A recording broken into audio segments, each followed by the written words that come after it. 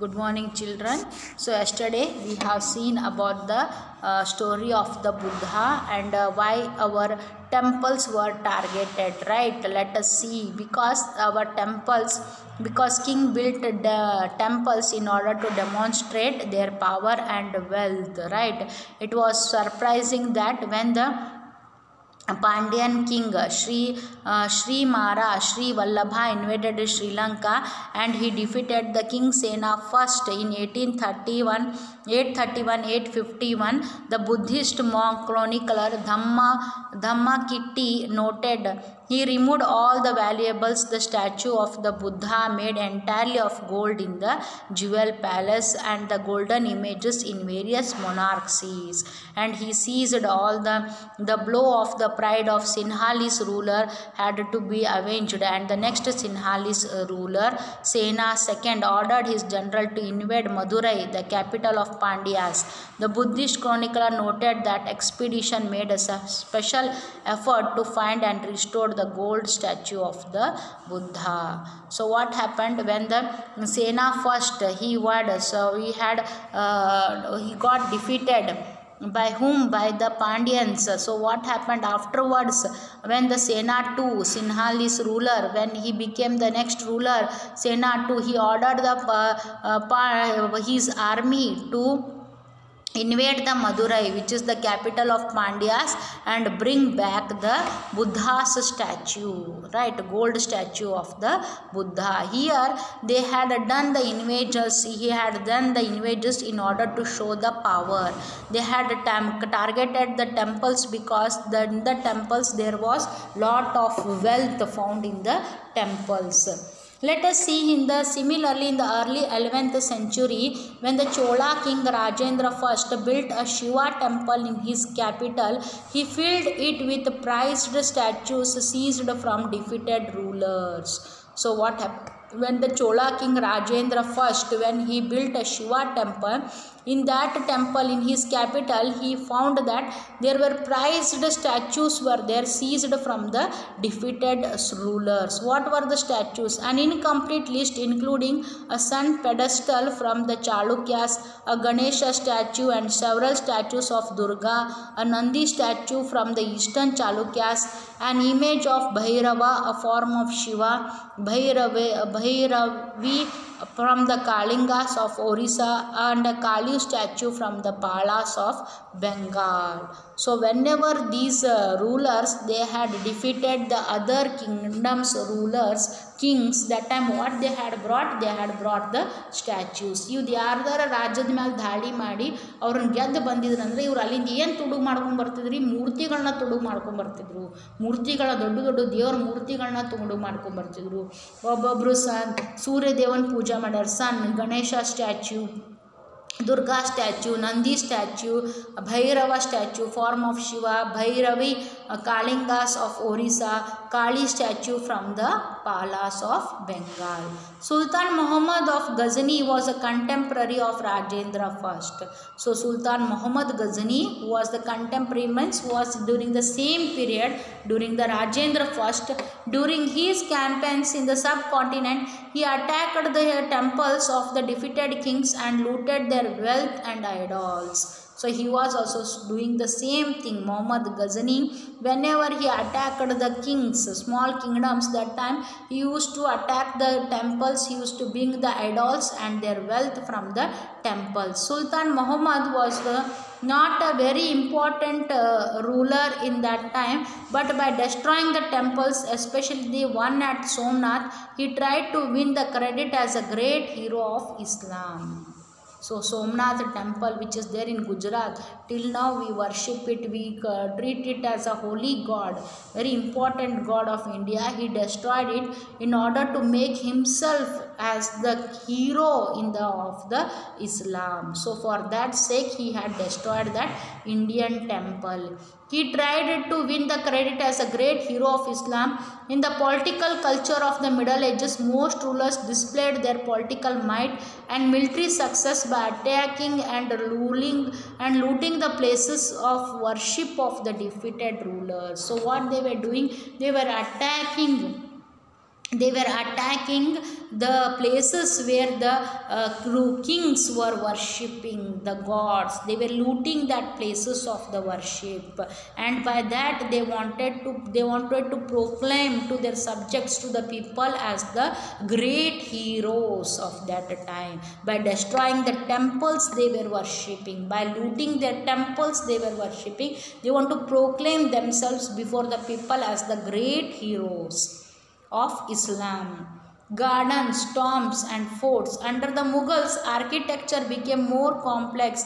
Babur, Humayun, Akbar, Jahangir, and especially Jahan were personally interested in the literature, art, and architecture. You can see here the people are very interested in the art, literature, and architecture. Who are they? Babur, Humayun, Humayun Akbar, Jahangir. These were Shah Jahan were interested in not in the struggles, not in the fights. They were interested in the literature, art, and architecture.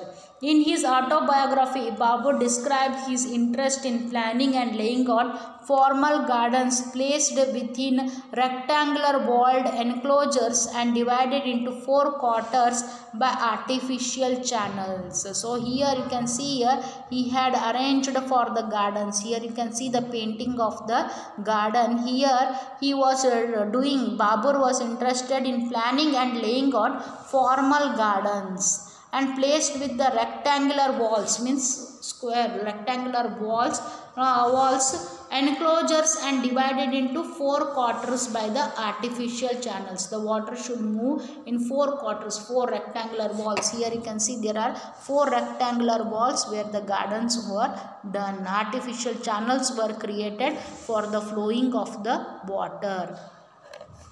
These gardens were called Chahar Bagh. Chahar Bagh. Four gardens because of their symmetrical divisions into quarters. Beginning with Akbar, some of the most beautiful Chahar Baghs were constructed by Jahangir and Shah Jahan in Kashmir, Agra and Delhi. So, Chahar Bagh means a beautiful gardens which are divided into four quarters. ನಾಲ್ಕು ಏನ್ರಿ? ನಾಲ್ಕು rectangular ಶೇಪದ್ದು ಏನಿರ್ತಿದ್ದು ಟ್ಯಾಂಕ್ಗಳ big big tanks ಗಟ್ಟಲೆ ಮಾಡಿ ಅದರೊಳಗೆ ಏನು ಮಾಡ್ತಿದ್ರು? ಗಿಡ, ಹೂವಿನ ಗಿಡ ಎಲ್ಲ ನೆಟ್ಟು ಅಲ್ಲಿ ಏನು ಮಾಡ್ತಿದ್ರು? ಗಾರ್ಡನ್ ಮಾಡ್ತಿದ್ರು.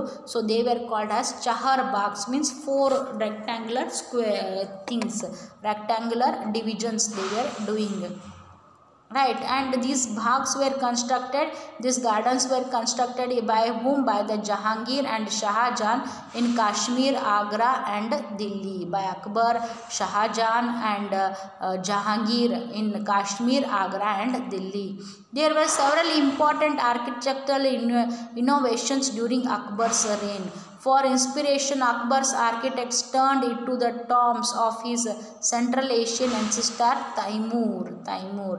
The central towering dome and tall gateway became important aspects of the Mughal. So, the central towering domur and the tall gateway Pishtak became important aspects of the Mughal.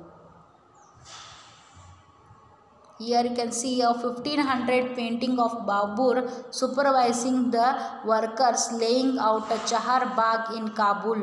Note how the interesting channels on the path create characteristic Chahar Bagh designs. Here you can see the Babur is supervising them the, who are making the labors who are making the Chahar Bagh here. It is in Kabul here you can see the architecture.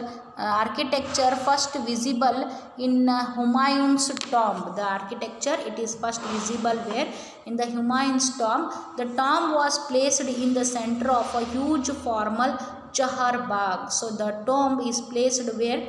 It is placed in the center of a huge formal chahar bagh and built in tradition known as eight paradises and uh, or harshat or hast Bishat, a central hall uh, surrounded by eight rooms.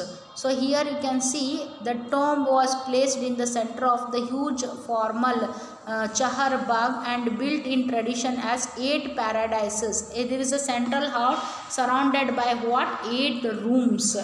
The building was constructed with red sandstone edged with white marble. See, the building was constructed with the red sand, some sandstone red sandstone edged with the white marbles white marbles they had constructed and also red sandstones it was during Shah Jahan's reign that the different elements of Mughal architecture were fused together into grand harmonious synthesis. His reign witnessed a huge amount of construction activity, especially in Agra and Delhi. So he was interested in architecture. Instead of expanding his territory and all, he was interested in the architecture. So what he did, he has done lot of construction activities in the Agra and Delhi.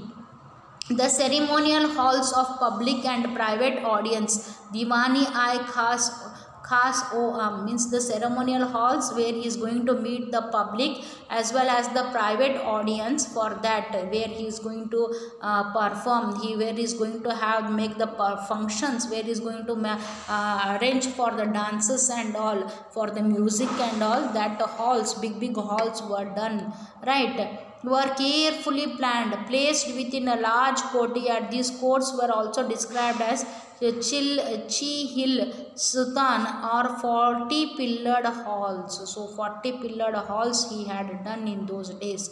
Shah jahan's audience halls were specially constructed to resemble a mosque.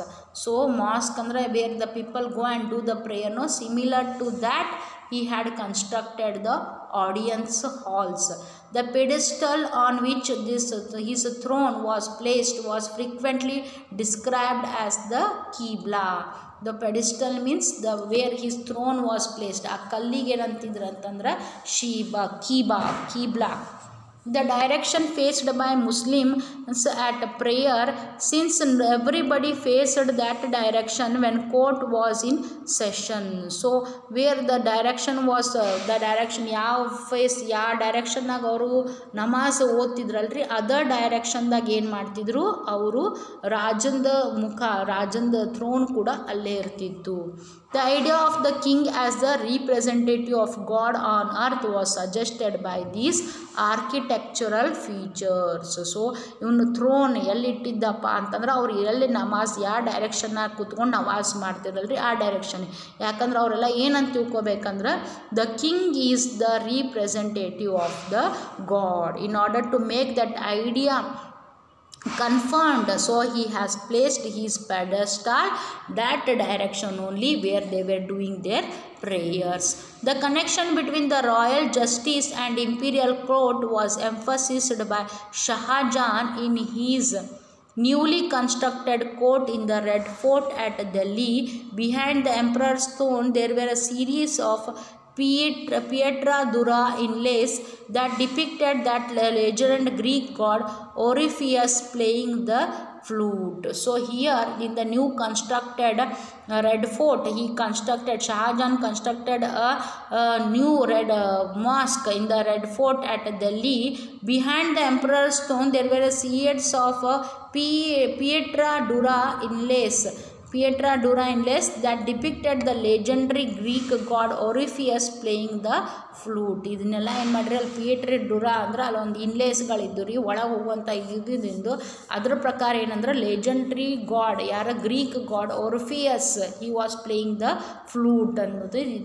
It was believed that Orpheus' music could calm ferocious beasts until they coexisted together peaceful peaceably so ಬೀಸ್ಟ್ಗಳನ್ನ ಬೀಸ್ಟ್ಗಳನ್ನ ಮಾನ್ಸ್ಟರ್ಸ್ಗಳನ್ನ control ಮಾಡುವಂಥ ಶಕ್ತಿ ಅದಕ್ಕಿತ್ತು ಅದು ಫ್ಲೂಟಿಗಿತ್ತು The construction of Shah Jahan's audience hall aimed to communicate that the king's justice would treat the high and low as equals, creating a world where all could live together in harmony. So here the construction of Shah Jahan's audience hall was like that, that in order to create in the minds of the people that the king is the representative of the god and is going to treat equally both the poor and the rich people equally. And who could live all together peacefully or in the harmony. In the early years of his reign, Shah Jahan's capital was at Agra. So, where was the Shah Jahan's capital?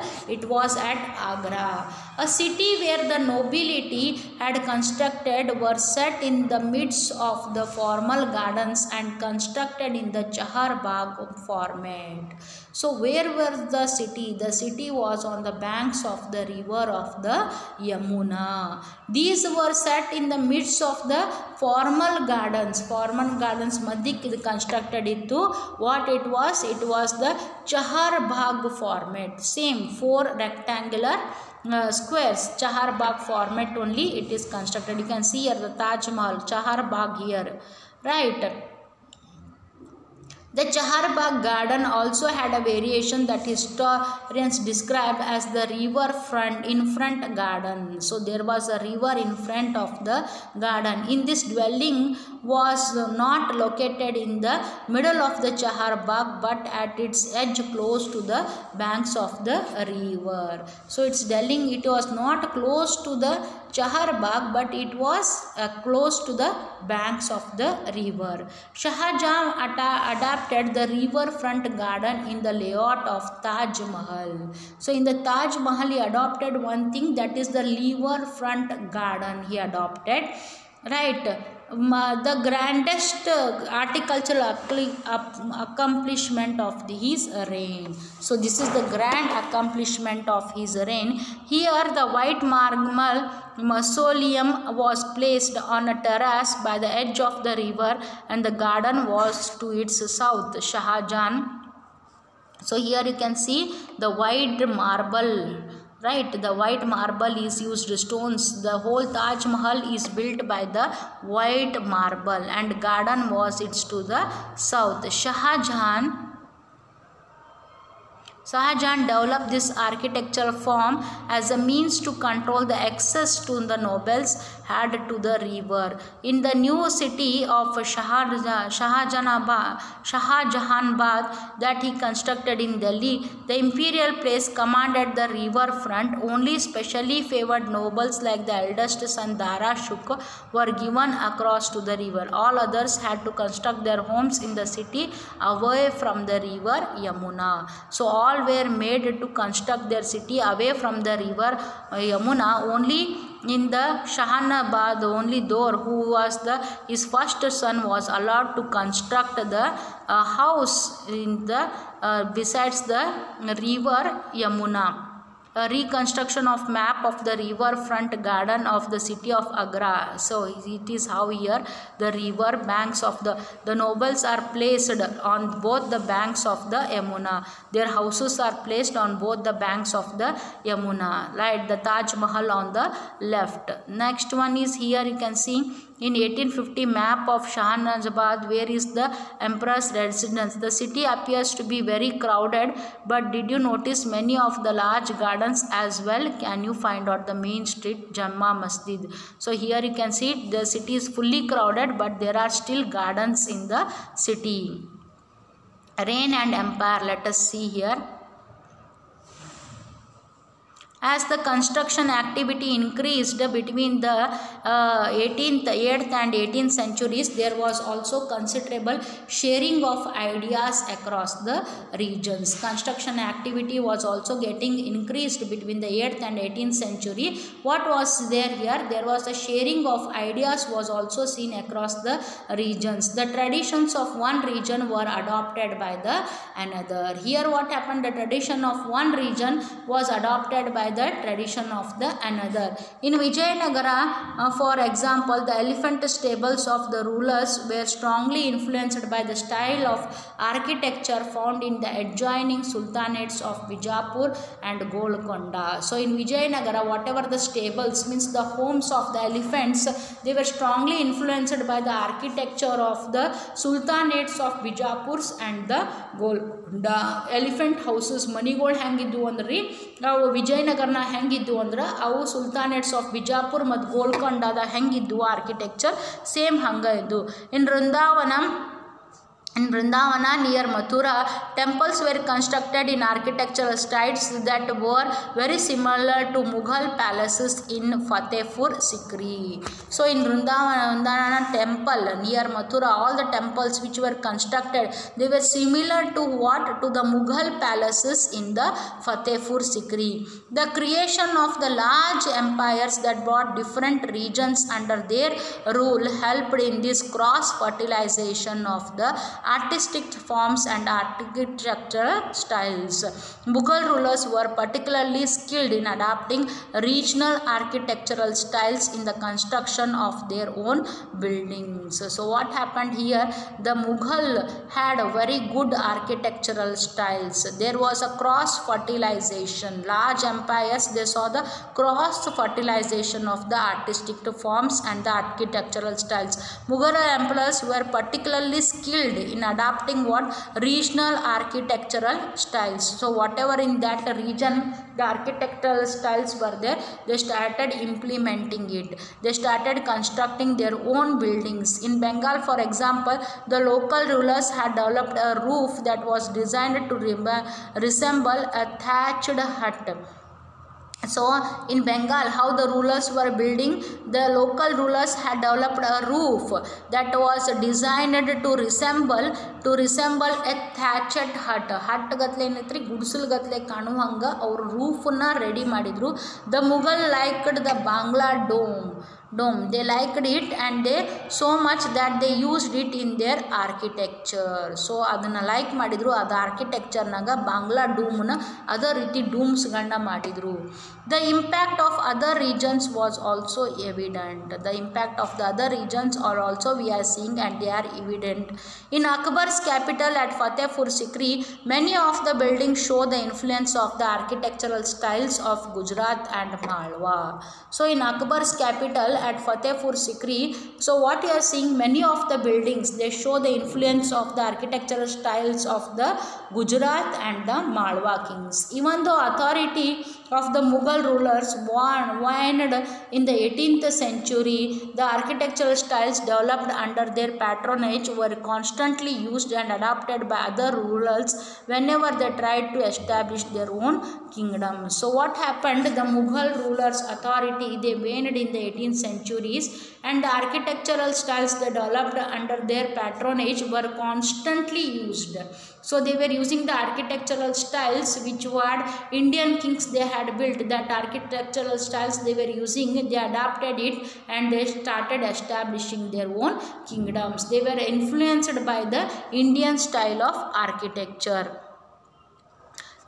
churches that touched the skies. We are seeing that the churches that have touched the skies. From the 12th century from the 12th century onwards attempts began in france to build churches that were taller and lighter than earlier buildings. This was the architectural style shown as the gothic which was distinguished by high pointed arcs use of uh, stained glass often painted with scenes drawn from the bible and flying buttresses tall spires and bell towers which were visible from a distance were added to the church. Here you can see that uh, tall big big churches. Here you can see one of the best known example of this architectural style is the church of the notre dame in paris which was constructed through several decades in the 12th and the 13th centuries. So in the 12th and 13th centuries we have seen the churches that had reached the skies. This architectural style is known as the gothic. Was distinguished by what? By high pointed arches. How they were there? They had a very high pointed arches means chupangido and used the stained glass stained glass where they were using and often painted scenes which were drawn from the bibles and of the flying and the tall spires and bell towers were used which were visible from a distance were added to the church one of the best known examples of this architectural style is the church of the Notre Dame Notre Dame ಅನ್ನೋ church ಏನೈತ್ರಿ ಇದಕ್ಕೆ best example ಐತಿ where it is there it is there in the Paris which was constructed through ಡೆವರಲ್ ಡಿಕೆಟ್ಸ್ several decades ಅಂದರೆ ಭಾಳ ಹಿಂದೆ ಇದನ್ನು construction ಮಾಡಿದರು twelfth and the thirteenth centuries here you can see the Bengal architecture like this all right bale it is called bengal bangla dome this is called as the bangla dome like this architecture we are seeing okay children this is the end of your chapter you have to write here architecture of the different from the accurate. What is a shikhara? What is a pietra dura what are the elements of uh, mughal chahar bagh garden? How did the temple communicate the importance of the king right shahjahan? Yamuna what role did the yamuna play in the layout of the new mughal city at shahana bazabad so this is all about your uh, new chapter of the uh, uh, sixth class. This is this is all about the architecture which was there in during those areas. It is about the rurals and buildings. So who were the rulers and what types of uh, buildings they have constructed? This is all about that the, about the different rulers who have been uh, started designing and who have been constructing the different types of the buildings. So it is the started from the rulers of the Qutub Minar. Engineering skills their construction and then we saw the temple construction in the early 11th century. And then we saw uh, temp building temples mosques and the tanks. And next what happened? We have seen uh, why were temples targeted? And next we have seen the gardens tombs and the forts. And next we saw that how were these all temples constructed. These buildings were constructed right newly constructed. Pietra dura right all these architectural region and how were their region and how they had uh, empired how they had ruled. All these things we have seen in these rulers and their buildings. Okay children thank you